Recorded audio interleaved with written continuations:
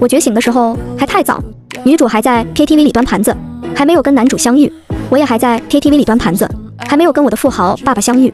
一在 KTV 里端了半年的盘子后，我突然觉醒了，发现自己身处一本宠文里，人设还是恶毒女配。明天我就会跟我的富豪爸爸相认，之后被安排跟一个没有感情的男人联姻，婚后还遭遇了家暴。而女主遇到了男主，被男主一家宠上了天。他天天跟我秀恩爱秀幸福，刺激的我心里失衡，用尽各种手段想要破坏他和男主。最后我被送去蹲局子，而女主和男主喜得双胞胎。死，这是哪个天杀的作者写的剧情？有钱有闲有老公，这种好日子不过。我作死去破坏男女主干什么？二，按照剧情，我先是被富豪爸爸认了回去，然后又被安排嫁给了那个没有感情的男人。但接下来的剧情，我选择了不作死，安心过我的好日子。顾寻说他要去见白月光，我建议他带束花。宋小姐最喜欢白玫瑰，别买错了。顾寻，他疑惑是应该的。按照小说人设，我应该阻止他去见宋静。在我原本的道德观念里，结婚了就该从一而终，绝不能再朝三暮四。但以前是以前，现在的我只喜欢钱。我跟顾寻说，为了友好和平的相处。我们做一个约定怎么样？顾寻，什么约定？你玩你的，我帮你保密，然后你每次付费就可以了。顾寻，看他满脸震惊，我也疑惑了。你们圈子里不都是这么玩的吗？婚姻归婚姻，都是为了利益；感情归感情，谁心里还没有个甲乙丙丁？顾寻沉默了两秒后才开口：婚后各玩各的确实很常见，但是开口问老公要封口费的不常见。我双手一摊，男人哪有钱靠谱？顾寻，三，顾寻前脚刚走，后脚女主宁初就给我打电话了。按照时间推算，这个时候他和男主温思言已经在一起了。他会跟我说温思言多么多么宠他，然后顺口问一句我过得怎么样。顾寻时不时的要去陪他那个白月光。按照原剧情，我当然过得不怎么样。可宁初不知道是情商低下还是故意的，对我关心不多，秀恩爱反倒越来越多。我堂堂豪门千金，居然连他都比不上，我能不气吗？但现在我还真不气。在宁初问我最近过得怎么样时，我笑着回道正在收拾行李。他惊讶怎么了？跟你老公吵架了吗？我哪有空跟他吵架呀？我要去国外旅行，度蜜月呀。不是，我一个人去。宁初惊讶的压了声，又问：你们新婚燕尔正是甜蜜的时候，不打算造人吗？造什么人？我跟顾璇有半点感情吗？匆匆敷衍了宁初几句，我迅速挂了电话。等到顾寻的封口费打过来，我立马就提着行李箱去机场。顾寻晚上到家，发现屋里一片漆黑，他震惊的给我打电话：你人呢？在马尔代夫看夕阳。顾寻，四。我到马尔代夫的第二天，宁初和温思言也来了。宁初嘴上说着很想我，太久没见了，所以让男主带她来这里跟我见面。但我怎么从中琢磨出了一抹炫耀的意思？更离谱的是，他明明是来跟我见面的，结果一天到晚都跟温思言黏在一起，还一会儿叫我拿这个，一会儿叫我拿那个。外人看来还以为我是他们的佣人呢。我当即决定换个地方玩。宁初又震惊了，你花钱这么厉害，你老公不会说你吗？我跟他是商业联姻，又不是他包养我。大概是包养这两个字刺痛了宁初的自尊心，他的脸色一下子就垮了下来。重重地看了我一眼后，他低声吐出一句：“祝你玩得开心。”我当然会玩得开心，只求他不要再带着男主来我面前秀恩爱了。虽然剧情设定我是恶毒女配，但我不想给谁当配角。牛不喝水还强按头吗？五，在外玩了大半个月，顾璇终于又给我打电话了。这次是因为有个宴会需要我们合体出席，我想也不想就建议他，那你带宋小姐出席呀，反正你只是需要个女伴，她也是女的。顾寻，后面他耐着性子跟我解释，因为这场宴会很重要，双方父母都在关注，所以他只能带我去。这样啊，要不你说我病了，我还没玩够呢，不太想回去。顾寻对于我的态度非常不满，冷笑道：“我还是第一次见把老公往外推的。”心田，你可真牛逼！我牛逼吗？我怎么觉得他们男人都这么贱呢？按照原剧情，每次他去陪白月光，我都会大吵大闹。后面他烦了，就干脆几个月不回家。我找到他白月光住的地方，跟他的白月光动了手，他一气之下也对我动了手，最后闹得两家不欢而散，外人也看够了笑话。难道这就是他想要的？我对顾寻说：“要我回去配合你也不是不行，但我有个条件。什么条件？我朋友过几天生日了，你陪我一起去，表现好点。宁初马上就要生日了，到时候肯定会叫我，也免不了要秀一波恩爱。我原本是不打算跟他再多联系的，但一起在 KTV 端盘子的时候，他曾舍命帮过我一次，就当是报恩吧。只要他不过分，我也不想跟他撕破脸。六，顾寻答应了我的条件，我也乖乖在第二天飞回了国。由于飞机晚点，顾寻在机场等了三个小时，我一到出口就对上了他黑沉沉的脸，怎么？不高兴我回来呀？那我现在就走。顾寻，他忍着怒火把我塞进车里，又递过来一个袋子，让我赶紧换衣服，在车里换。顾寻伸手按了一个键，车子中间的挡板升了起来。换吧，现在没人看了。我缓缓看向他，你不是人吗？顾寻，为了不被我气死，他果断扭头看着窗外。我提醒他，玻璃反光也会看见哦，记得闭眼。顾寻深吸一口气，还是没能挡住理智飞到九霄云外。他转回来，恶狠狠地瞪着我，心田，你跟我领了证的。我就算把你看光了也合法哦，那你看吧。我大大方方的当着他的面开始脱衣服，顾寻反倒不好意思了，蹭了一下脸红了。小样，跟姐斗呢？姐可是知道所有剧情的人。顾寻就是那种你跟他来硬的，他能弄死你；但你跟他来软的，他就会不知所措。在顾寻满脸通红闭上眼之后，我施施然的换好了衣服，起到了宴会现场，刚一下车，我就挽住了顾寻的手。顾寻演技不错，那还请顾总待会儿宴会结束后奖励我一百万。顾寻面对前来攀谈的人，我笑容满面，回答得体，一点也不像是被拐卖多年突然回归豪门的落魄女。顾寻看我的眼神也从一开始的诧异，逐渐变得有些暧昧。等等，暧昧？我一个机灵，在宴会结束后立刻跟他划清界限。这次我帮你是为了下次你帮我，咱俩属于互相帮助，你可别歪了想。顾寻似乎喝多了，靠着椅背，眼神迷离。他抬手扯着自己的领带，颇有股斯文败类的味道。你嫁给我不会就只是为了钱吧？不然呢？难道还是为了你的人？我无比真诚，然后顾寻就被我的真诚伤到了。他气急败坏的把我扯过去，让我好好看看他的脸。我这样的你不喜欢，那你喜欢什么样的？我随口瞎诌，喜欢温思言那样的。顾寻，那不是你朋友的男人吗？那又怎么了？防火防盗防闺蜜，我就是那个会撬墙角的闺蜜呀。顾寻，他大概是被我的三观震惊到无语了，缓了好一会儿才回过神来。心田，你老公在你面前呢。S U，爸。顾寻气急了，一把扯下自己的领带扔到一边，然后他拉着我的手，在他的胸口和腹部都按了按，一块块明显的肌肉，手感好到爆。靠，这混蛋用美男计是吧？你你干嘛？我试图收回自己的手，但是顾寻不让。他勾唇轻笑，缓缓贴了过来，直到将我困在车门和他的胸膛之间，在我面前说你喜欢别的男人。心田，你想死吗？姿势太暧昧，他的表情，他说的话都太暧昧。有那么一瞬间，我差点以为顾寻喜欢上我了。直到他的手机铃声传来，我看到屏幕上的备注只有一个字：静。多亲密呀！顾寻看了一眼，没有接通，而是把电话给掐断了。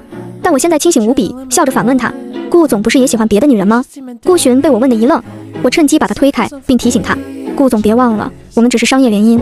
原剧情里，顾寻不止一次用这句话将我堵得哑口无言。现在我先发制人，不过这么做的后果就是，顾寻接下来好几天都没有给我好脸色。直到宁初生日那天，我问他还陪不陪我去，顾寻冷声反问：要是我不陪你去，你就一个人去？不啊，我可以找别人，男的女的。我用一种看傻子的眼神看了他一眼，刹那间无声胜有声。顾寻炸了，你敢找男人陪你去？你信不信我报警？有病吧他？这种事报警，丢脸最大的人是他吧？不过听他的意思。大概是愿意继续陪我去宁初的生日会了。既然如此，我也不想跟他闹得太僵。我迅速换上笑脸，牵起他的手，那走吧。顾璇一下没反应过来，被我拉得踉跄了一步。往前走的时候，他又低头看了看我俩十指紧扣的手，然后嘴角悄悄上扬。九，宁初的生日会场面盛大，温思言确实很宠爱他，但来人之中除了我是宁初的朋友，其他的都是温家和温思言的朋友。宁初特地带着温思言过来跟我们打招呼。两个男人握手的瞬间，顾寻不紧不慢地开口：“温总确实很有魅力。”温思言，宁初也一头雾水地看向我，而我猛地想起来，那天我随口瞎诌说自己喜欢温思言，这家伙不会要在今天搞事情吧？我对着宁初和温思言抱歉的笑笑，然后又悄悄在顾寻的腰间拧了一把，顾寻立刻转头瞪我，还好这时有人来跟宁初和温思言攀谈，我连忙拉着顾寻去了无人的角落。你干嘛？不是说好了今天要配合我的？顾寻皮笑肉不笑的，怎么配合？跟温思言搂着宁初一样搂着你吗？还是叫你老婆？最后两个字激得我起了一身的鸡皮疙瘩。我很无语，但又不知道从何解释。更让我郁闷的是，顾寻这副样子，看上去像是吃醋了，可他跟我之间吃的哪门子的醋？沉默的僵持了几秒，不远处有人喊顾寻，应该是生意场上的合作方。顾寻虽然不耐烦，但还是给面子的走过去跟对方聊了几句。再回头发现我已经跑到宁初身边了，还好温思言也走开了，不然他估计会以为我是想黏着温思言吧。十，宁初跟我说，他原本也想请其他的亲朋好友，但是温家的门第太高，他怕其他人过来反倒不自在。我笑着点点头，岔开话题，想跟他聊聊事业规划。以前我俩没背景，没资金，找不到工作，只能暂时在 KTV 里端盘子。现在我回归豪门了，他也有了温思言当靠山，再想干事业应该会容易很多。然而，拧出一本正经的说，我暂时没什么规划，只想好好陪着阿言。他有睡眠障碍，只有我陪着他才能睡得着。是我天真了，我原以为事业规划这种高大严肃的话题，扯不到秀恩爱上面去，结果还是吃了一嘴的狗粮。更可怕的是。温思言这时跟其他人聊完，又过来了。他搂着宁初的腰，柔声问宁初：“是不是站累了？”宁初娇笑着摇头：“不累。你为我做了这么多，你更辛苦。”温思言：“只要宝贝开心就好。”够了，恶毒女配的命就不是命了吗？为什么要在我面前秀这么尬的恩爱？我扭头想走，结果迎面差点撞上一个人，是恶毒男配周成宇。他喜欢宁初，想要横刀夺爱，只可惜实力不如温思言，就拉拢我跟他一起搞事情。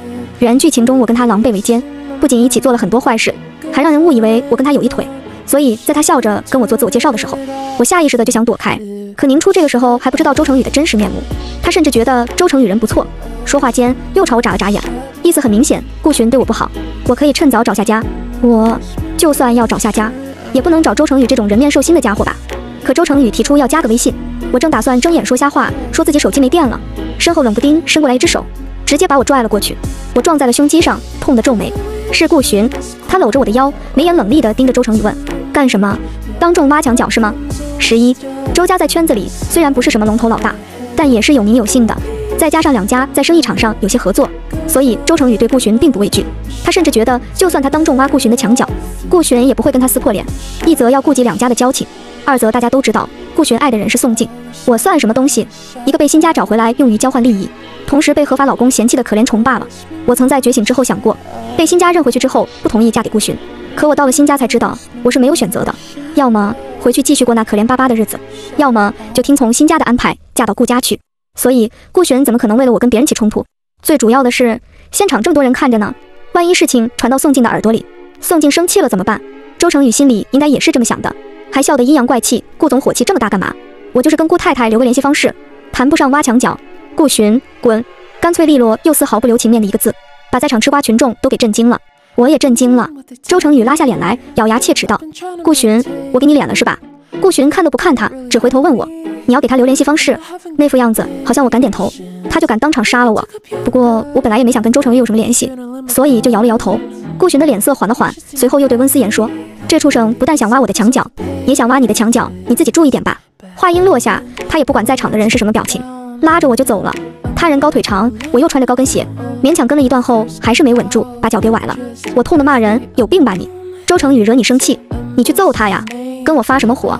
顾寻回头瞪着我，他不关心我的脚，只冷冰冰地问：“今天我要是不在场，你是不是就跟周成宇加微信了？”“不会呀。”顾寻的嘴角刚要往前翘，我又说了句：“周成宇不咋的，江家小少爷倒是看着不错，心甜。”顾寻暴跳如雷，神情似要吃人，而我一脸无辜。他大概忘了刚才来的路上。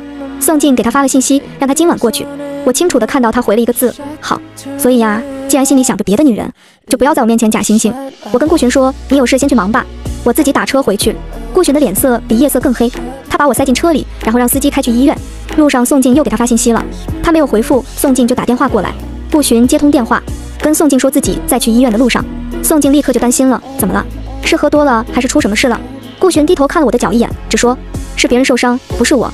别人，呵呵，我故意坏笑着凑过去，用口型问他：“老公，谁是别人啊？”顾寻大概是怕我真的出声会让宋静听到，连忙挂了电话。我白了他一眼：“你胆子也太小了！我都说了，只要你付封口费，我可以帮你隐瞒一切。”顾寻，十二，我没想到宋静会追来医院，他还让我别介意。可如果真的怕我介意，他又怎么会出现在这里呢？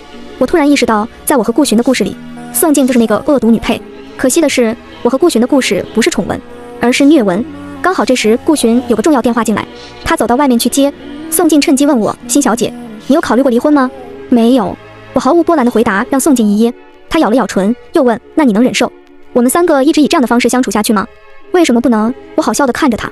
我跟顾寻结婚本来也不是因为爱情结婚的呀。他能找你，我也能找别人吗？宋静，我都这么大方了，可宋静还是不满意。他在顾寻回来之前，把一整杯水泼在了自己脸上，而顾寻也没有让他失望。回来后看到他的狼狈样。当即质问我：“心田，你干什么？”我低头看了看宋静塞到我手里的水杯，忍不住发笑。顾寻见状更加生气：“你笑什么？静静过来是因为担心我，你不高兴看到他，让他走就是了，有必要羞辱他吗？我还什么都没说呢，他就已经叭叭叭的说出了一堆。不过这也没什么奇怪的，毕竟我是这本书里的恶毒女配，在顾寻的潜意识里，我就是个坏女人，我连自己闺蜜的男人都会抢，更何况是对待介入自己婚姻的小三。恶毒女配嘛，肯定是双标的，可以破坏别人的感情。”但是不允许别人破坏自己的感情。我转头又接了一杯水，当着顾寻的面泼在了宋静脸上。看清楚了吗？这杯是我泼的，我敢做敢当。阿寻，宋静哽咽着扑到顾寻的怀里，是我不好，我没有经过你太太的允许就突然跑来这里。他生气也是应该的，你别跟他计较。妈的，演技真好，这本书的作者就应该安排他去搅和宁初和温思言啊，搅和我和顾寻这对没感情的表面夫妻有什么意思？大概是我们这边的动静太大了，有个护士走过来查看，仗着有外人在，我更加有恃无恐，笑眯眯地对顾寻说：“还杵在这里干什么？快带你的白月光回家呀！”护士眼里顿时亮起炸裂之光。明明刚才填资料的时候，顾寻说他跟我是夫妻，现在居然把白月光带到合法老婆面前，这么劲爆的八卦，谁不想看，谁不想听呢？只可惜我没有心情奉陪。看顾寻没有反应，我率先转身走了。到了楼下，我打了辆车，坐上去没两分钟就接到了宁初的电话。十三，他先是说了下我跟顾寻离开后，周成宇和其他人的反应，无非是议论纷纷。还有周成宇说要给顾寻好看，宁初担心这些言论传到新家我会挨骂。甜甜，要不我让温思妍跟你爸妈打声招呼？不用了，太麻烦。我不麻烦的，只要我开口，不管什么事，阿言都会为我办到的。又是秀恩爱，按照觉醒前的人设，我肯定暗地里气炸了。毕竟我前脚刚在顾寻那里受了委屈，后脚宁初就跟我秀恩爱，这也太不顾我的感受了吧？但实际上，宁初以前太缺爱了。现在被温思妍捧在手心，他只是想让所有人知道温思妍的好，他不是只对我秀恩爱，是无差别撒狗粮。幸好我现在对顾寻没有任何期待，不，确切的说，是对感情和婚姻都没有任何期待。我同意嫁给顾寻，不过是为了改变自己的人生。既然如此，宁初和温思妍那边的关系就要好好利用起来，所以我爽快的答应了宁初的建议。好啊，那就麻烦你和温总了。宁初，不麻烦，你是我最好的朋友吗？你和温总什么时候结婚啊？宁初被我问的一愣，紧接着就害羞了。怎么突然说这个？我还没想过，该想想了。最好早点结婚，没有我这个恶毒女配从中作梗，他们应该更早的修成正果。十四，第二天下午，我妈给我打电话，让我回家一趟。虽然她在电话里语气不好，但我知道有温思妍打过招呼，他们不会对我怎么样。只是我一进门就看到他们跟心安正在嬉笑。心安小我两岁的妹妹，我的父母给她取名安字，就是希望她一生都平平安安。不要跟我一样被人拐卖了。其实一开始顾家想要的儿媳妇是心安，但心安有自己的心上人，扬言逼她嫁到顾家的话，她就鱼死网破。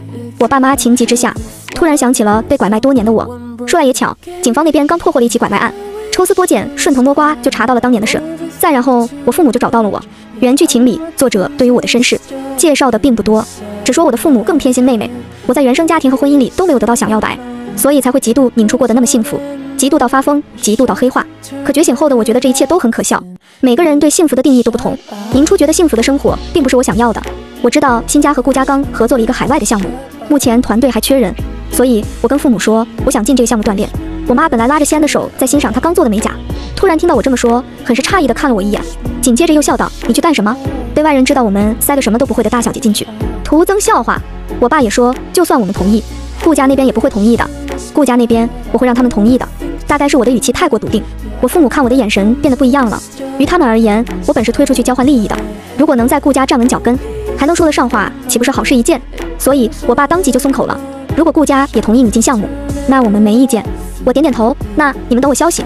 起身走的时候，西安难得的叫了声姐姐。怎么了？你不留下来吃饭吗？虽然家里没备什么好酒好菜，但你应该也不会嫌弃的吧？不用了，我还有事。既然没备酒菜，那就是根本没想着我吃饭。西安虽然表面上叫我姐姐，实际上却十分抗拒我回到新家。我也没想跟他抢父母的爱，因为知道抢不过我呀，就想多拿点钱，往后山高水远，乐得逍遥自在。十五那晚在医院的事情也传了出去，还传到了顾寻父母的耳朵里。但这一次二老没有当做不知道，而是训了顾寻一顿。原因很简单，最近我和宁初以及温思妍走得很近，顾家和新家都可以不管我的面子和感受，但是他们又都想通过我跟温家搭上边。我特地打电话感谢了宁初，然后宁初就跟我说温思妍要跟他求婚了。婚礼呢，也在准备了，时间定了跟我说啊。宁初，甜甜，我想请你来当我的伴娘。原剧情里，我在婚礼上设计让宁初出丑，惹得温思妍大发雷霆，顾欣两家因此被连累，之后一直走下坡路。所以后来温思妍送我去坐牢，没有任何一个人站出来为我说话。幸好我觉醒了，那样的剧情也不会再发生。顾寻回来的时候，我和宁初相聊甚欢，不知道是他走路没声音，还是我太投入。总之，我没有发现他回来了。宁初询问我俩的近况，我云淡风轻地说，他这会儿应该在陪宋静吧。上次宋静在医院自导自演装可怜，他肯定心疼死了。明初，你就让他这么胡闹，不想管他，反正过几天我就要出国了。啊，你要去哪？我们家跟顾家在澳洲合作的那个项目，团队还缺人，我去锻炼锻炼。顾寻同意了，我管他同不同意。我后面的话还没说完，手机被顾寻夺了过去，他的脸色又是难看的，好像自我们结婚以来，他对着我总是很难有笑脸。顾寻挂了电话，又盯着我问：谁同意你去澳洲了？我爸妈和你爸妈都同意了。顾寻。手机还我，顾寻不还，还恶狠狠道：“他们同意了，我没同意。心田，我才是你老公，那又怎么样呢？你还能拦得住我？你试试。”撂下这三个字，顾寻拿出自己的手机，准备给我爸妈打电话。在两家的合作中，我家处于低位，所以他很清楚，找我爸妈的话，一定会以他的感受为先。但这次不一样，我好心提醒他，这件事是温思妍出面打招呼的。你现在胡搅蛮缠，是要打温思妍的脸吗？顾寻大概气疯了，完全没有理智可言。温思妍，温思妍。你怎么不直接跟你朋友二女士一夫呢？他顾寻的脸上挨了我一巴掌，他满脸不可置信。是啊，我这样一个不被婆家重视，也没有娘家撑腰的人，居然敢打他，确实让人很震惊。但我觉醒了呀，我不跟男女主作对了，不仅不作对，我还把他们当靠山，当资源。我告诉顾寻，就算你搅黄了我去澳洲的事，我也可以让宁初牵线进温氏集团的项目，到时候你还能搅黄吗？顾寻，省省力气吧，多去陪陪你的宋小姐。我走后，你俩更自由，不好吗？心田，顾寻怒不可遏，你到底是介意我跟宋静的事，还是你自己想跟温思言有牵扯？都不是。那你想干什么？想工作赚钱？我回到新家的目的就是为了爱和钱。既然爱得不到，钱总不能没有吧？顾寻死死盯着我，但没有说话。良久，他走过来，按住我收拾行李的手。声音沉沉，你想工作，不一定要出国，你家公司或者我家公司，只要你开口。顾寻，我打断他的话，语气温和，咱俩之间没有感情。我出国可以给你和宋小姐腾空间，我自己也能更自在，这是最好的选择。对我来说不好，为什么？我不想你走啊！顾寻的话把我说懵了，然后他就告诉我，有关于那晚宋静自导自演的事，他其实早就知道了。他一时难以接受宋静是那样的人，所以这几天都在外面借酒消愁。可是酒喝的越多，脑子里出现越频繁的人，反倒是我。顾璇甚至说：“心田，我们试试，试个什么？就是培养一下感情，培养他个鬼呀！我好不容易摆脱了原来的结局，现在绕一大圈又回去。他能保证跟宋静一刀两断，能保证以后永远不会出现其他的第三者。就算他保证了，我也不敢信啊！爱情多不可靠，我只喜欢当机立断，一拍两散。十六，我出国的那天，宁出来送我，他说温思妍最近在忙婚礼，所以没有一起来。甜甜，那你还会回来给我当伴娘吗？会。”你就这么走了呀？宁初说着，左右看了看。我知道他在找顾寻。前天晚上，顾寻喝多了，跑到温家找他，问他知不知道我喜欢温思言。宁初被吓了一跳，连忙给我打电话，是我去把顾寻接回来的。但在离开温家之前，顾寻发了一通酒疯。他一会儿说我喜欢温思言，一会儿又说他喜欢我。对于前者，宁初自然不会相信，毕竟我和温思言每一次见面，他都在旁边。私底下，我和温思言也没有联系方式。但对后者，宁初却信了。他说：“你和顾寻毕竟结婚也有些日子了，同个屋檐下住着。”你对他无限包容不说，平时生活起居也把他照顾得很好，他喜欢上你很正常啊，正常吗？如果按照原剧情的走向，这个时候顾寻对我已经到了厌恶至极的地步，是因为我觉醒后对他一点不在乎，反其道而行之的作风让他觉得新鲜吧？他以为我会如菟丝花般依附他，会永远受他掌控，偏偏我现在要远走高飞了。顾寻对我未必是爱情，只是恰逢他发现了宋静不好的那一面，回头想要从我这里汲取温暖和安慰，但我不给，越是得不到的，他越不甘心，仅此而已。十七。过安检的时候，眼角的光瞥到不远处有一抹熟悉的身影，好像是顾寻，但我不愿转头仔细去看，是不是他都不重要，我只想奔赴自己向往的天地。到了澳洲后，生活几乎被工作完全占满，偶尔我会收到顾寻的信息，问我家里的东西放哪里了。恍惚中我想起来，我跟他还没离婚。其实出国前的那晚，我提过这件事，顾寻不同意。他看着家里收拾得干干净净，看着我帮他备好的所有东西，突然之间对我舍不得了。人心大抵就是如此，哪怕不爱一个人，但在他身上得到过好处。习惯了有他在，就会舍不得失去。我没有理会顾寻的挽留，也不相信他说的喜欢我。事实证明，离开的选择是正确的。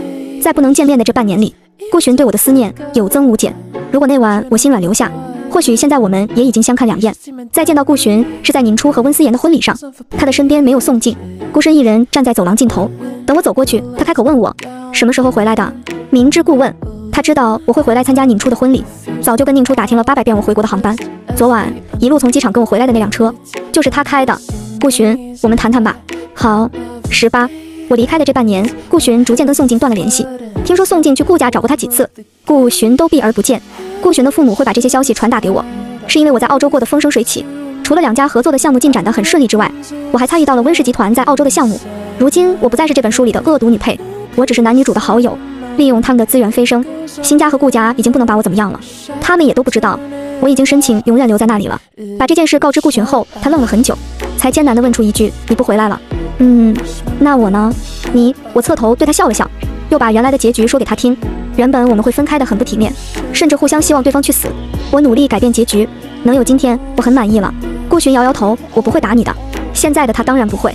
我说的那些，他或许也不信，但都不重要了。顾寻，明天我们去离婚吧。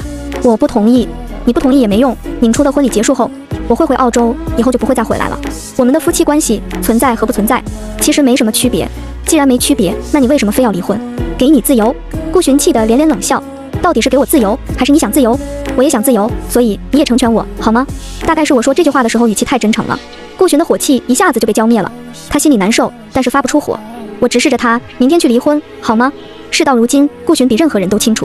我用这种语气说话，并不是真的在恳求他，只是想要一个好聚好散罢了。良久良久，顾寻终于吐出一个字：好。他同意和平离婚了。我微笑着伸出手，那就祝我们离婚快乐。顾寻也笑了，又问：离婚后我们还是朋友吗？我去澳洲的话，可以找你一起吃饭吗？可以呀。以后的事，谁又知道会变成什么样呢？